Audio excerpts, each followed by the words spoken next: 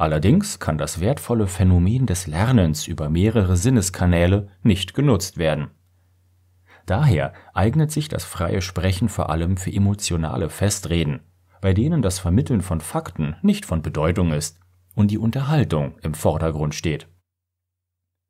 Für ein wenig Abwechslung können übersichtliche Folien für den Overhead-Projektor oder eine Wandtafel genutzt werden, um die wichtigsten Fakten und veranschaulichende Grafiken visuell festzuhalten.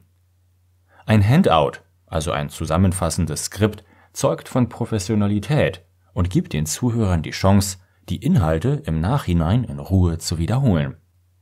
Allerdings sollten Sie dies unbedingt erst am Ende Ihres Vortrags austeilen, damit sich währenddessen noch konzentriert wird. Eine weitere Möglichkeit ist die Erstellung eines Flipcharts.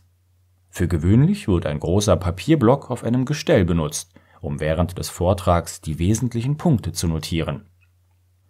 Vor allem in kleineren Gruppen, beispielsweise im Rahmen eines Workshops, eignet sich diese Methode besonders gut. Die Besonderheit an Flipcharts ist, dass sie viel Spontanität und Interaktion erlauben. Die Zuhörer können den Entstehungsprozess von Grafiken und Thesen schrittweise nachvollziehen und ihre eigenen Ideen im Brainstorming einbringen. Das steigert Motivation und Aufmerksamkeit und führt letztlich auch dazu, dass sich die Inhalte besser einprägen. Achten Sie unbedingt auf eine leserliche Handschrift und verwenden Sie treffende Schlagwörter, um die Inhalte möglichst kurz zusammenzufassen.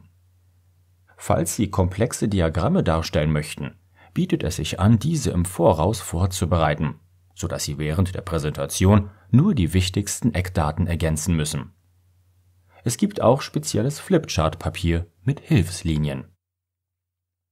Darüber hinaus können verschiedene Farben für einen noch besseren Überblick sorgen